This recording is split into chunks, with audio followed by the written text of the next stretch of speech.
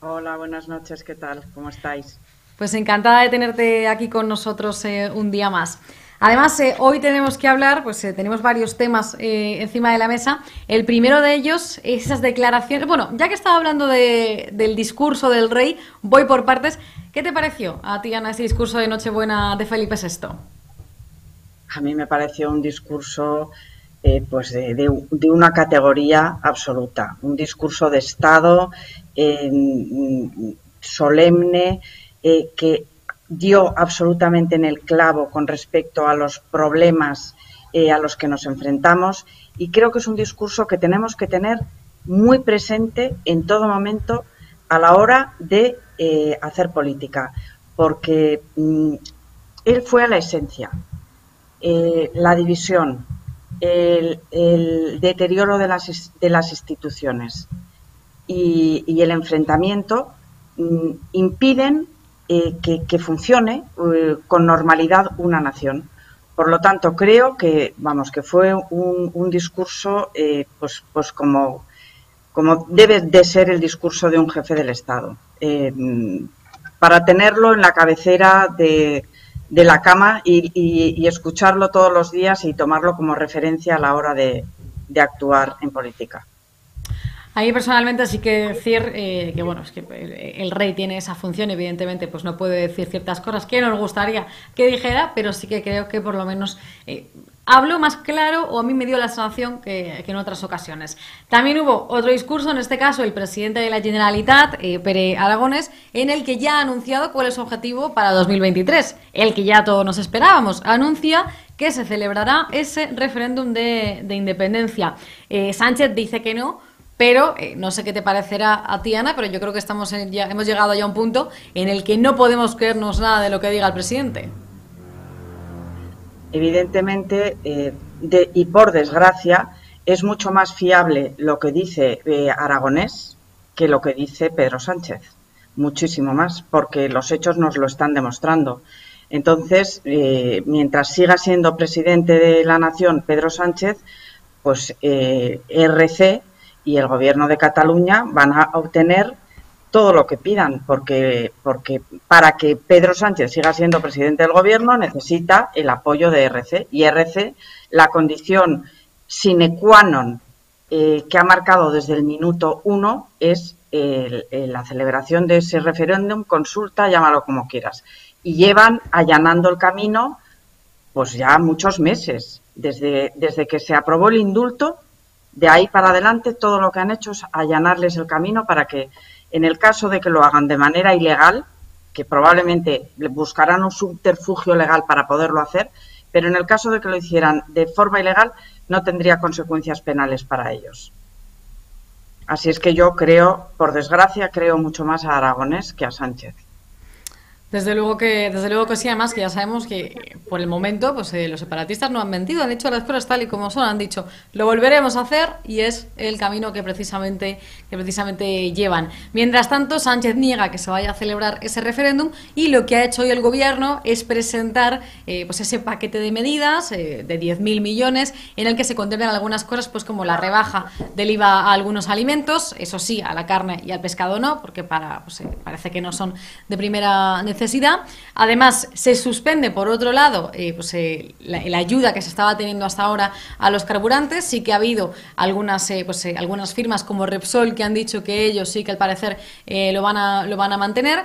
Además, se pone el tope a los alquileres, algo que evidentemente pues, no contenta demasiado a los propietarios y que puede provocar precisamente que no haya oferta, ¿no? Porque mucha gente si dice, mira, pues si tú me limitas que yo pueda alquilar mi piso eh, a un cierto dinero, pues no voy a hacerlo porque igual no me compensa, sobre todo teniendo en cuenta el nivel de ocupación también que estamos alcanzando en, muchas ciudades y otras medidas también, eh, un paquete con el que parece, no sé qué te parecerá, eh, Artiana, que quiere ocultar todo lo que ha ocurrido en las últimas semanas y precisamente estas declaraciones de Aragones sobre el referéndum. Hombre, es evidente que ya se ha iniciado la operación compra de voto, está clarísimo. Pero es que además nos estamos acostumbrando a una serie de medidas que parecen absolutamente eh, bolivarianas, de verdad, lo digo con una tristeza infinita. Pero eh, la entrega de cheques, el, el, el subvencionar eh, todo lo subvencionable. Es, un, es una política y una estrategia política que trata a, los, a, las personas, a los ciudadanos, casi casi como súbditos eh, a los que hay que cuidar y proteger. Yo, sinceramente, creo que el dinero eh, tiene que estar en el bolsillo de las personas y las personas utilizarlo como quieran. Lo que deben hacer, en todo caso, claro que eso no tiene el mismo rédito electoral, es ajustar mejor el, IRPF. El IRPF, o sea, no, no necesitamos que nos den cheque, necesitamos que nos dejen el dinero en el bolsillo. Y por otra parte, todas estas medidas también hay que pensar que se están teniendo que tomar porque la economía es un desastre y va muy mal y porque, porque la capacidad adquisitiva eh, de, los españoles cada vez es menor porque la inflación está desbocada.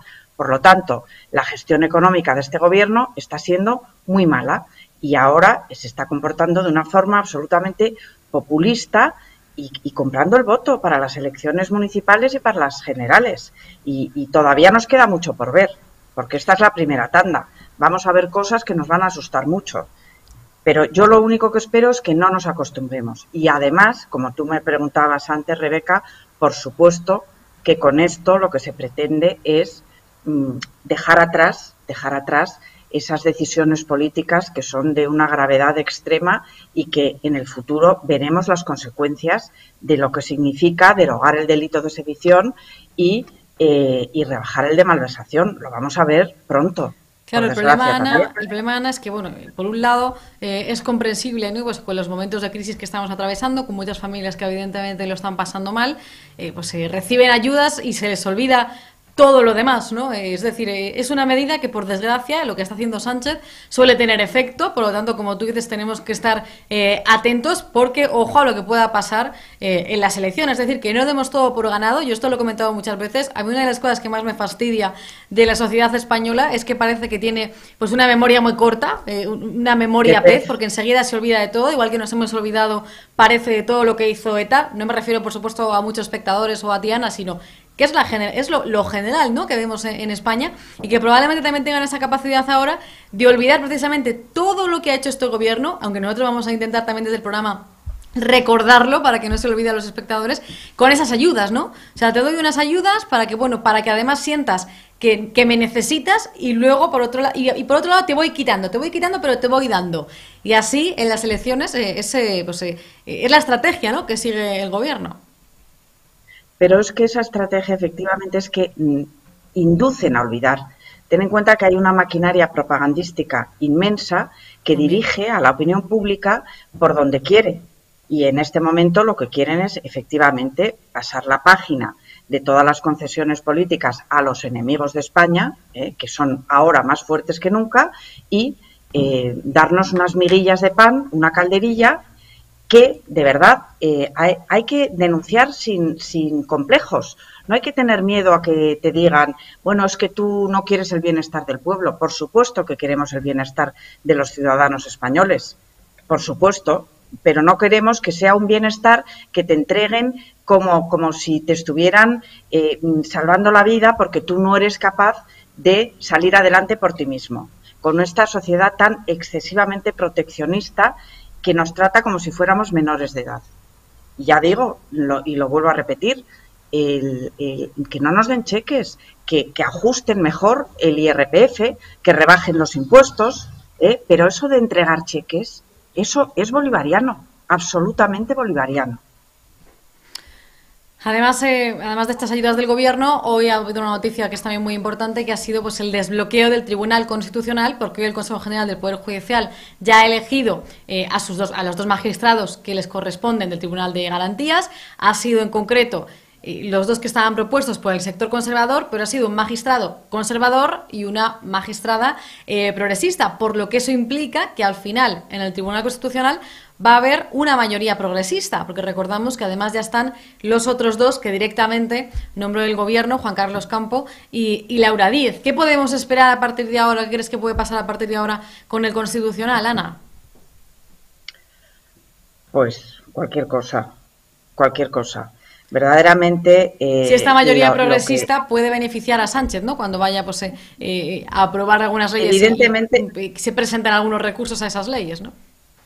Hombre, podemos mantener un poco de, esperanza porque ha habido algún caso en el pasado en el cual jueces eh, considerados progresistas han antepuesto su prurito profesional eh, y su independencia a la hora de, mm, bueno, de emitir su voto o de, o de plantear su posición para sentencias.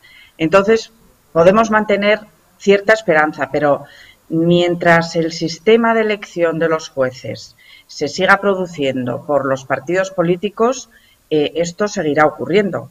Y aún más agravado si se, culmina la reforma que quiere hacer el Gobierno, por la cual simple, con una mayoría simple ya se puede eh, hacer los nombramientos, porque en ese caso todavía estarán muchísimos más politizados los órganos judiciales. Ahora, al menos, pues tiene que haber un, cierto consenso a la hora de, elegirlos, porque la mayoría tiene que ser de tres quintos, pero en cuanto sea mayoría simple, es que mm, el, Poder Judicial desaparece, desaparece, o sea, deja de existir un Poder Judicial independiente, y eso es de una gravedad absolutamente extrema. Por lo tanto, eh, vamos a ver, eh, yo, de verdad, la única esperanza que veo, dado el panorama político que tenemos, son las elecciones. Eh, y bueno, en el caso de que se produzca la moción de censura, que ojalá eh, salga, aunque es difícil que salga adelante, por lo menos los españoles podrán ver y escuchar cuál es la auténtica realidad de España y después votar en conciencia y, con, reflexionando acerca de qué futuro queremos para nuestro país. Un futuro de país eh, completamente controlado por el Estado, subvencionado y, dominado por el separatismo, y vete tú a saber eh, en qué condiciones de configuración como Estado, o tenemos la oportunidad pues, de, recuperar un poco un, país diferente en el que en el que lo primero sea la libertad individual y, la, y, la, y, el, y el progreso y el desarrollo, pero de verdad y auténtico de las personas y de la, y de la sociedad. Muchísimas gracias, por estar eh, estos minutos con nosotros. No sé si te he cortado. Gracias a vosotros. No, no, no, no, en absoluto. Gracias Muchas a vosotros. gracias, Ana. Hasta la próxima. Hasta la próxima.